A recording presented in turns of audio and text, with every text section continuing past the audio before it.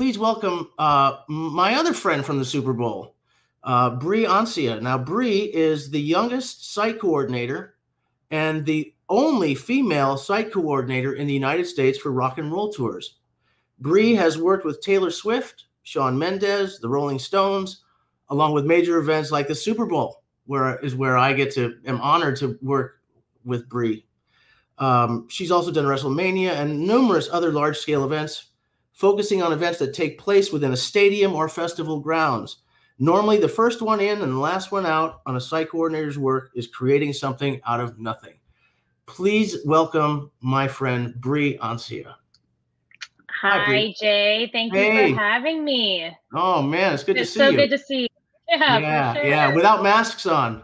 I know, and never yeah. got to see your mouth the whole time I we were know, at Super Bowl. I know. Well, um, thank you for so, joining us. Yeah, of course. I, I, I feel honored, and and I hope um, I can give the students some some good insight to to what I do and and some options that they have. Site coordination is kind of taking a stadium show and and building it uh, for a concert tour. You know, as you know, NFL stadiums are not set up in that way. Um, I've worked with Taylor Swift the past 12 years, the Rolling Stones, um, Shawn Mendes, Kenny Chesney. Um, I do WrestleMania, Super Bowl, and then a couple of festivals. I am from Seattle and um, in Seattle, we basically uh, I do the Seahawks and Seattle Mariners, AEG Live, Concerts West. Um, and as Jay said, I am the only female at the moment uh, in site coordination. I really do hope that there are more that show up in the next uh, few years. Um, the only stadiums I haven't worked so far would be Jacksonville, Lambeau, which is Green Bay, the new LA Stadium, and the new Vegas Stadium. So I started my own company in 2012. Um, I did start in the business when I was 16.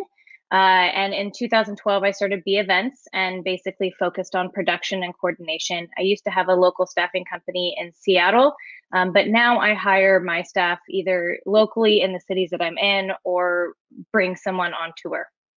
Um, Super Bowl this year was my fourth, and I went to school at Washington State University and graduated with a broadcast production major. Um, in terms of site coordination, we are the last, the first one on and the last person off. Um, we contact the venue, we liaise between the tour and the venue. Basically, we are responsible for acquiring all of the needs of the facility. And and the facility basically goes through us to liaise to the tour.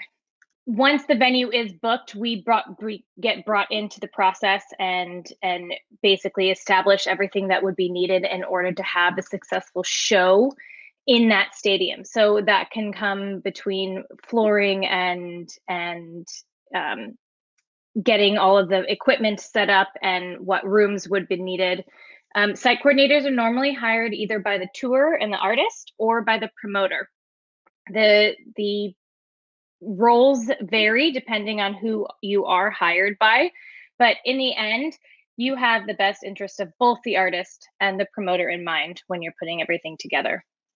You try to give the artist exactly what they want while saving money for the promoters. Examples of venues that I put together would be NFL football stadiums, baseball stadiums, cricket fields, soccer pitches, and open festival grounds.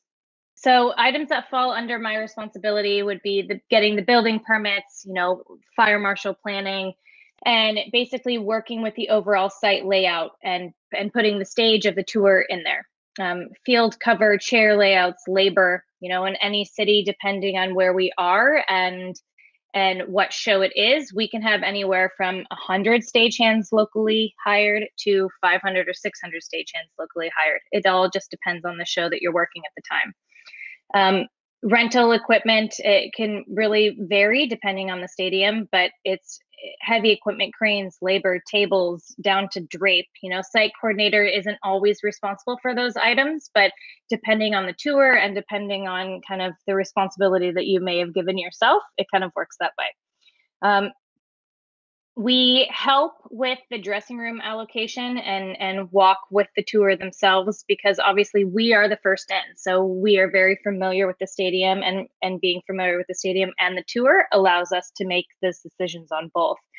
Um, basically, anything that you have that would require, you know, something's very specific to the venue, that's what the site coordinator does. Um, the tour itself, the production itself is usually the same no matter what the same amount of trucks, the same video equipment, the same audio equipment. The thing that changes is the venue. So basically, the site coordinator is the one that has to roll with the punches and make sure that those changes are taken care of. So, Rolling Stones. Um, this is one, uh, the 2019 No Filter Tour. So basically, with the Rolling Stones, um, they they did this tour in 2019, and uh, they did it in 2018 as well, mainly in Europe. When they came to the States, we basically wrangle 20 steel trucks and 25 production trucks. So 45 trucks that we have to find a place locally to, to park during. 20 steel trucks is, is quite a lot for the type of stage that you're building. Then three cranes, 500 local crew, uh, 15 forklifts, 10 golf carts, and 3,200 amps of power. So uh, I'll go down the list on, on the few other shows so you can see what that compares to. Um, this is definitely a smaller tour when it comes to comparing to Taylor Swift. So Taylor Swift is is and or was and still is the largest touring show in history um, internationally we had more trucks, more freight moves, more volume than any other show. The closest one would be the U2 360 tour, that big claw. Some may still be a little young that don't, know what that was, but that was a feat in itself. Um, this one had quite a bit more production that was more steel based and, and structural. If we go to the next one, I can give the stats from Taylor, which again is is definitely oh looks like it didn't. Oh, small, but it popped up. Um, so Taylor had 24 steel trucks. It's not that many more than what the Stones had, uh, but we did have quite a few more pieces on our trucks. On top of that, we had 55 production trucks. So you are looking at roughly 80 trucks that that are touring around the states and and Europe and Australia, New Zealand, and Japan. Now, one thing to keep in mind is that this is just one set. So in the United States, Taylor had three three steel sets that she toured around with because we couldn't make the distances on a lot of these shows. So take that 24 and times it by 3 and that's how many trucks were running around that that myself and one other site coordinator were playing with while building this show. 55 production trucks is very high in terms of production, especially since this had had eight trucks of video, nine trucks of audio. Um, on top of that, you have wardrobe, you have catering, you have uh, trusses, you have all of these other things that go into it. Now, Taylor itself was one of the larger ones with local crew as well um, local crew 650 probably across the span of what the site coordination was and production load-ins that is very high. You know that's that's roughly 100 100 touring crew or 100 local crew a day for the whole week that we're building. Um, depending on the venue we had up to 24 forklifts 16 golf carts and 5000 amps of power. So that shows the difference between the four video walls that were set up for the Stones and then the Taylor Swift Reputation Tour. Um, we usually had roughly 70 local runners throughout the week, and a runner is something that is really an intro to the concert touring world. Um, a runner is a local person that has a car that runs errands for the band, but they can do anything from you know production assistant work and corralling local people to running around getting supplies for the crew and and learning you know what nuts and what bolts we need to get in order to fix the the things that are happening around backstage. Next we have uh, i believe the next one is taylor swift in tokyo. You know one thing in tokyo that i the reason i like to to show tokyo is because the way that they do things there is um, is very very efficient. They have an army of people. There's no attrition in terms of crew showing up. Um, and this particular show we had a, a huge schedule conflict. Um, And I'm sorry that I can't show you all the pictures with the sharing not working uh, for me. Uh, but basically, what what we saw here in Tokyo is that we had a a anime show that popped up, and and then we had a BTS show, and then we were just after the BTS show. Now, the Taylor stage for this tour takes or took about 18 and a half hours to build and that is just the steel. So that is from the ground up all of that black steel that you see flying there that is that is what it takes to build the steel. On top of that it takes a solid 10 hours to build all the video and that doesn't include testing so we basically take for production it is basically a day and a half and for steel, it is three days. So you are looking at roughly four and a half to five days in order to get the show to happen. And with BTS, they were the night before. So we had to come in two weeks early and set the flooring or set the base of our stage. And the anime show came on top of that. As soon as the anime shows was done, we came back and built all of the towers and had BTS build their video wall in front of it. As soon as BTS was done, they took down their video and we put up the rest of our stage. So it, it is very complicated, but if this happened in any other city, it probably wouldn't have been possible. But the way that the Japanese facilitate building a show is very efficient. And the, the other set, cool thing about Japan is that when people are leaving the stadium, there's no garbage on the floor and they all leave when their rows and seats are called.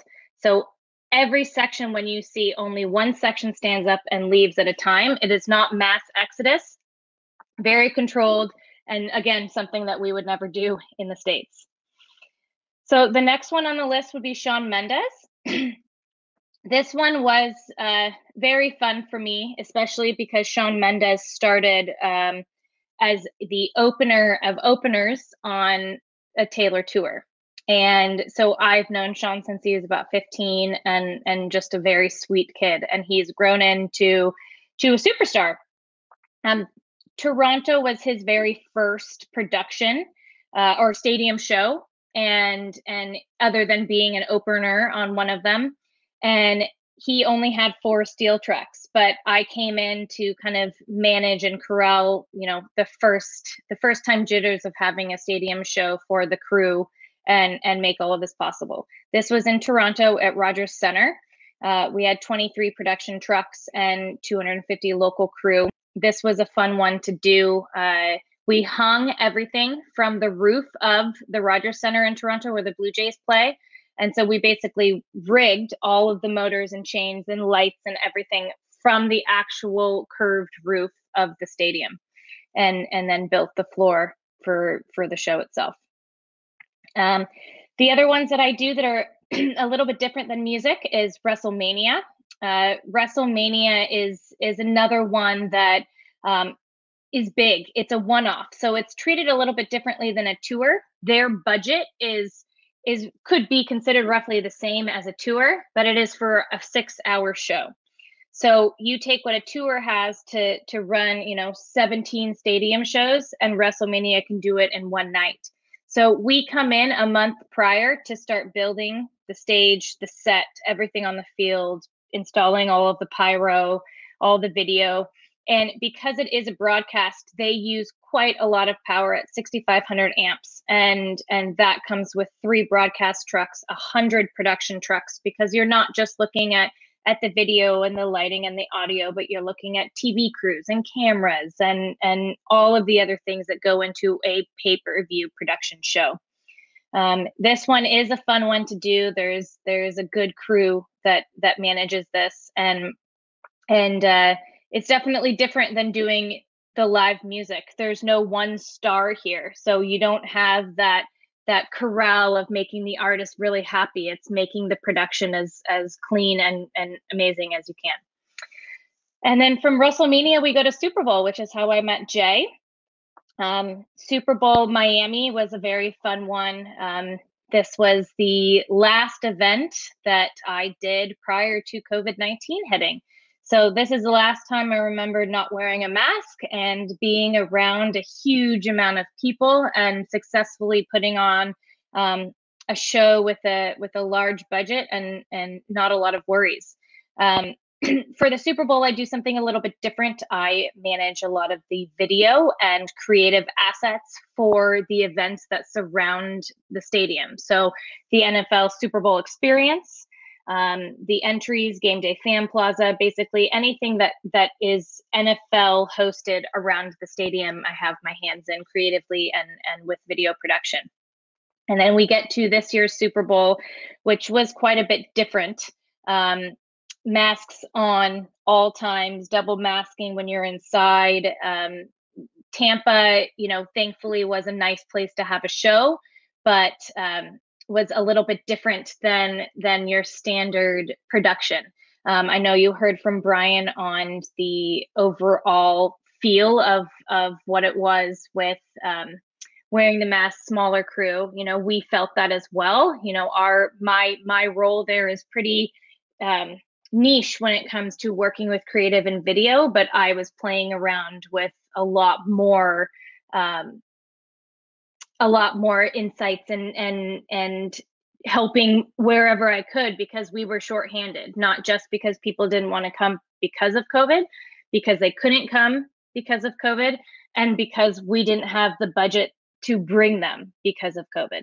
So a lot of things went into to the changes that were this year, but we successfully had a a vaccinated healthcare worker concert with Miley Cyrus. And and that concert was so special because even though it was a little strange to be around that many people uh, myself um, you know back in february and january was not fully vaccinated. So we had to stay back and still really socially distance but watch a big group of people have fun and not feel worried anymore. Um, gave a little glimmer of hope for this industry. You know, we are still very far away from having huge tours. Um, there will be one offs and, and fun events happening this summer outdoor but but in terms of huge tours that are coming around you know that that will take a while just because every state every city every place you go will have different restrictions and monetarily that's that's a huge impact on on the tour's bottom line in order to comply differently in each city um, but we'll get there and and it will be it'll be even bigger and better than it was before. So um, i i really do need to apologize for my presentation not working. Um, this is what it looks like to have an event uh, fully masked uh, uh, during during super bowl um, and I think that's what it'll look like moving forward for at least the rest of this year, if not the beginning of next year. Um, there, there's going to be a lot of precautions put into place for everyone's safety, not just the crew, but but also the fans that come to enjoy whatever spectacle that we can produce. I would love to to answer any questions and and see anything that you guys uh, want to ask. Yeah. Wow, Bri, thank you so much. That I'm sitting here with my mouth open looking at how many trucks some of those things are taking, you know, 80 trucks. My goodness, that's just huge. That's huge. Yeah. But, and great to see that picture at the end. Was that Pete Soulé behind the blue glasses? yeah. Pete and Rossi and Pete, Chad all, all yeah, Yeah. And J Dot, I think I saw in there too. Yeah. Um, hey, we got a couple of questions going in the chat. Um, timeline for organizing. How soon before the event do you actually start working on it? Um, that's a good question. So it is obviously all dependent. You know, Super Bowl, for example, um, is usually two years out that they'll start managing and and working on the plans. I normally don't get involved with Super Bowl until about a year out before each of the cities. Um, with a tour, it's usually the routing is done uh, and probably pretty much solidified about a year out. So take and keep that in mind. It's probably a year and a half that they that they build the tour between holding all the dates in stadiums, getting the dates set, routing everything, and then from there, I usually get involved um, as soon as the routing's pretty completed. And and then we really start to investigate in the staging and what production is going to be and how big that's going to be. And they you know there's a lot of set designers that work on all of those aspects but i get brought in once once the stage design is to a conceptual conceptual size that that I can start building out what we may need for for the stadiums and and then that way we can help with budgets and and hotels and all of those good things. Gotcha. And then the same for WrestleMania then. On those one-offs, how how far in advance do you plan WrestleMania? Well, WrestleMania is um, this anomaly in the production world because because WrestleMania is is the Super Bowl of wrestling doesn't mean that it gets planned in advance other than getting the stadium on hold and working with the venue themselves probably about 6 months out. But the design and the set sometimes can can be changed. You know uh, one of the ones that i did we we had a brand new set 4 weeks out because the the big boss man changed his mind and didn't like the set. So we redesigned the entire set and had a new set come in 4 weeks prior. Wow. so we we were still receiving parts new parts and new pieces, you know, when we had already been on site loading. Um, but but there's a lot more money to be thrown at something where you know you're getting pay per view money coming in. Yeah, it sounds stressful. that, that last minute. it can stuff. it can be, but you, you, know when when it comes to when it comes to these events, you know you you know what you're getting yourself into, and if you plan ahead, um, usually the stress only comes when problems show up. Right. So the proper pre-production means that sometimes the other things don't happen. Exactly. When it, when it does get stressful, how do you deal with that? How do you deal with stress? You, you know, one of one of the the most stressful things I would say is with my job is you know uh, you can plan and prepare and you know coordinate and and have all the logistics in a row and you can be you know have have your notebooks and have your ipad ready and have any answer to any question but but if you're in Ohio in the middle of summer, you don't know what weather could come up. So, you know, that is one of the more stressful things because lightning can be very dangerous. Um, and and that kind of stress is the stress that really gets to me. Um, you know, the way that I cope with it, it you know, staying on my feet, making magic happen, knowing that the fans are safe and having fun. Um, that, and then maybe a glass of wine at the end of work or during, hiding in a corner. but but you know, in the end, in the end, it uh, it's it's really just trying to to manage the stress into small doses with small problems that come up because the rest of it you know is all taken care of. Right right. Yeah um the weather thing is interesting and we had to deal with that in miami when we were starting to see some lightning and that's you know take it very seriously. Um, how much actual travel do you get to do? Is it being constantly on the road or are you only called into certain situations you're you're you tour so you're on the road yeah that's right. So so being the first one in, the last one out, you know, I I go just say we're we have a show on Saturday. Normally I will show up at the city on a Monday. Um, I will travel in on Monday, land, go straight to the venue, check everything out, make sure that everything I ordered is there and ready to go for the morning. Usually have my my local or tour assistant come in and we label everything, make sure it's all good to go, set up the office, and then we start on Tuesday. So that would make three days of loading in. Production comes in on Friday. The show is Saturday. Production loads out Saturday night. Then I load out Sunday. And then Monday, I'm traveling to the next city. So with the stadium show, it's boom, boom, boom, week after week. So with Taylor, I was gone for 10 and a half months um, wow. from home. And, and the other months were taking up with Super Bowl and WrestleMania. So I was really home total, probably six weeks all year in 2018. Um, so yes, it is a lot of travel. Um, it is something that that took me a it was a huge adjustment when covid hit you know going from my tempo of really being home to oh, maybe three days a week to to being home all the time um, normally i am on an airplane probably three or four times a week just depending on on what the schedule looks like sure man yeah covid really got got us all there um, just kind of put a slam on things um, let's see here. Relationships. I've talked to you about these before and the importance of relationships. And which relationship, how do you get a, a client like Taylor Swift is the question.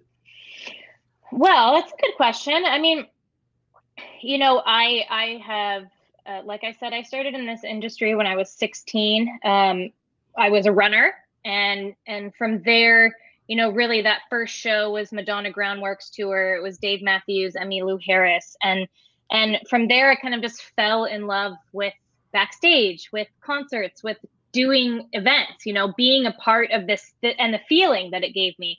Um, and really from there, I, I worked very hard. I mean, uh, sorry if this is censored, but I worked my ass off. And and being a female in the industry, that's what you have to do. You can't be afraid to speak up. You you have to be able to um, know and have confidence and kind of have this, you know, subconscious confidence in in what you're doing. And and I mean, I don't like the term "fake it till you make it," you know. But my first show as a promoter rep.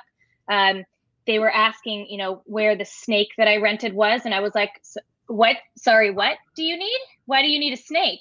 Um, you know, I was 20 years old and and hadn't really been dropped into this position, and and the audio guy pulled me aside. It was like, "I'll take care of it, but we're going to go through all of this afterwards." So it, it is about building these relationships and networking. Um, one of the first tours I did with with Kenny Chesney in 2007, and it happens that the promoter that promotes Kenny Chesney also promotes Taylor. So I was a product a site coordinator's assistant, a production assistant, and kind of uh, made friends with the promoters and showed them that I knew what I was doing, that I wasn't afraid of what I was doing, and and when Taylor came around, you know they they needed somebody. Everyone else was booked, so they hired me. Um, the first show I did with Taylor, they actually hired a man to to oversee and make sure what I was doing was okay. And and you know, again, when I was site coordinating Taylor Swift, I was 24 years old. Um, I knew what I was doing at that point better than not knowing what a snake was, but um, it it it kind of hurt a little bit that there was a man there, but I took him out for drinks afterwards and and basically told him what was going to happen, told him to sit in the corner and if anyone asked him any questions to come talk to Bri. And he was totally okay with it. He's still That's a good friend to this day and and you know, you just have to let the people know that are close to you and that around you that you got this and and your actions will speak louder than than your words. Yeah, that was a, I'm glad you touched on that because that was one of my questions about being uh, a woman in this, you know, male-dominated business and the challenges that you had, and you certainly answered that, you know, um, and and I get to watch that too. I get to watch that when we're at the Super Bowl. You know, you really do. you you run a crew like nobody I've ever met with or worked had the had the pleasure to work with before. And I'm not just saying that because you're you're here right now, but oh, I, I, really I really do look forward to working with you every year. Um, talk about work life balance. You just talked about the tour and you know going ten months out of the year. Are you able to find things to do outside of work um, and save time for for your relationships? Yeah, so so I am married, um, and I do have a dog. Um, but I I met my husband on the road. Um, he he was touring with the Stones when I was touring with Taylor. Um, so he he does understand the business, and and he understands um, uh, can you still hear me? Sorry, my yeah. AirPod had died. Yeah. So. yeah. Okay, good. Um, so he he understands that aspect of it. He's no longer um, working in events, but but you know it helped a lot to have somebody that that gets it, someone that knows you know what to expect, and also to be flexible because he would just come visit. You know, he would come to the show in New Orleans or come to the show in Chicago, come to the shows where cities that he's never been. Um, so there's that. But then the other side of it is that the road, you know, on on tour, those people you spend every day with 12 hours a day for months on end and they are family so you know going out to dinner with them you may still be people that you be with people that you work with but it's not like your coworker at a 9 to 5 job these people know your ups know your downs know your good days know your bad days and and they got your back so you know it's it's like it's like turning off the work and having dinner with this person you can literally turn off what you're doing at, at work not talk about it and have fun. So you know that's that's kind of the work life balance. Now do my at home friends suffer a little bit? Of, of course but you know I, I chose to be in this industry and and you know you can make friends all the places that you go to to kind of make that balance happen. Yeah yeah it's tough. Work life balance is, is something that we, you know, it's not always symmetrical balance. It's not always 50 50. Sometimes you travel for four months at a time and the pendulum swings this way and then it swings back. And, you know, you, you can kind of see, well, I've got some time off after this tour and I can take a break for six weeks. And for sure, you can kind of, you know, that's a way of balancing, I guess. You know, yeah, a- yeah, asymmetrical and, balance. Right, and and and a nice part of that too is you know I I own my own business, so I I know that at the end of Super Bowl I'm usually home, you know, February 10th or February 12th. That that I don't have to do anything until March 18th with WrestleMania. So I usually plan either staying at home and not doing anything or we'll go my husband and I will take a vacation and we'll go away for a month. So we have that ability to to find your balance and know that it's definitely the work hard play hard mentality. Um, if you work very hard, you know, you can take that month off, but knowing that you work very hard for 4 months and then you can have a month off works as well. Yeah, yeah. And you know, that's no no kidding. This is hard work. You know, for, for anybody sure. that anybody that, you know, has aspirations, to get into the business, um, it's it's it's a tough life, you know. Yeah, it's not glamorous. There, there. You may say that you work with an artist like Taylor Swift, but you're not the artist, so it may be glamorous for them, but it's not for us. yeah, and it's it's really hard work and long hours, and um, you know, but you love it. You gotta love it. You, you gotta love, it. it. You gotta if love it. If you don't it. like it, if if you if you have a, a little bit of doubt, you're not going to be happy in it. Yeah, good advice. What what other kind of you know anybody that's think because I know there's probably a lot of students out there thinking, I'd like to get into this business. You know what what uh, besides the runner? I know we talked about that. Let's elaborate yes. on it a little bit. You know how, you know, how do they with, go?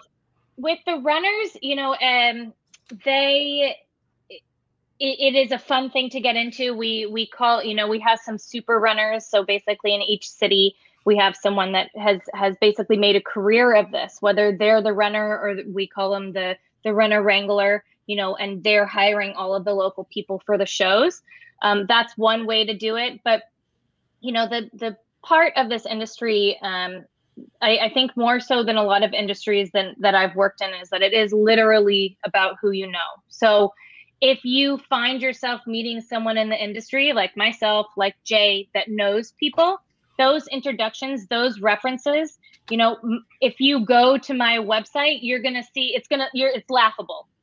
And and and I sure I can have someone make a beautiful website, but that's not how people hire me for jobs. They hire me because they know me, they hire me because someone referred me, they hire me because that's what I do. And there's a very small niche in in in what I work with, but it's the same with audio engineers. It's the same with set designers. It is all about who you know and what relationships you can build. So LinkedIn, don't be afraid, be persistent. The the very first thing I did when I graduated from college is I I had this connection. Um, his name is John Meglen, and he he is the president of Concerts West, which is one of the the promoters that basically is like a sister company of AEG Live. And Concerts West does Celine Dion, they do Roger Waters, they do Rolling Stones. So big names, but they're they're boutiquey, so they really get to know these artists. Um, anyway, I had these aspirations of working with them, and and got the contact from one of my college professors, and and chatted with him, had an informative interview, and and he said I'll follow up. Well, he didn't, so I was very very persistent. And what did that get me? They got me a, a you know promoter role for local Portland and Seattle shows so it is all about following up being persistent and and you know on top of that that hard work. So yeah. building your craft. Don't be afraid to yeah, reach out and all they can say is no right? Yeah. All they can say is no. Um, it's interesting you say it's all about who you know and I'll, I'll add something to that. It's all about who knows you too right? It's it's yeah. both ways because um, you want to be the person that when somebody says hey i need a site coordinator oh Bri right? Right at the first you're the first exactly. name that somebody comes to somebody's uh, comes to mind is is is that you want to be that person you know and that is a result of your experiences um, and your relationships and doing good work you got to do good work or else you're not going to get hired again you know and Definitely. that means you know doing it uh, you know in my world you know you're kind to one another you know you respect one another um, and you do the work for the right reasons, and that's success too. You know, that's that's another yeah. another form of success. Um, let's see what else do we got here. Okay, how can people apply for jobs, local jobs in productions, like maybe production students that are willing? Would you suggest they just contact their local venue, Bri, or or a Yeah, Live I Nation mean- office in, in Uh, a, a lot of times it just depends you know um, a, a lot of the promoter companies live nation aeg they're based in in california um, so yes it is as simple as contacting them contacting venues and it just depends on what you want to do. You know if you want to get into audio if you want to get into video reaching out to vendors that do that stuff because they can also hire a tech and teach you on the road. Um, and and then there's the flip side of getting into the stagehand side of the business and and you can see if you actually like it. You know you may be the grunt but there definitely is a part of this business is that it's not just who you know but it's about the hard work because again like we've said many times the the concert touring industry is is not an easy gig um, it has its rewards it is it is fun and and and it can be very stressful but it it definitely takes um, some a lot of knowledge and ingenuity and being on your feet. So um, in terms of applying, yeah, just start sending your re- resume, you know, LinkedIn or or calling a venue and asking to work backstage, asking to be a runner, you know, asking to get in that way. Um, just not being not being proud too proud to to start small. Yeah, yeah, and getting making those phone calls, it gets you, you know, if even if you they tell you no, they might remember you the next time and say, "Can I keep? Will you keep my number around?" You know, possibly. Um, Live Nation, the largest uh, concert promoter, um, usually has an office in in many cities. So I would suggest that you um, go ahead and uh, do a Google search for Live Nation. Go to their website, and there's a, actually a tab that says Live Nation Jobs. Yeah, Um, and so- AEG Live does the same, and and you know they're looking at bringing people back on now, and and have a lot of a lot of tours coming up um, in the fall and and definitely next year. So yeah, I'm looking forward stay- to it. And I'm look, looking forward to seeing you in LA uh, for sounds next Super. Bowl. Thank you so much, Bri, Jay.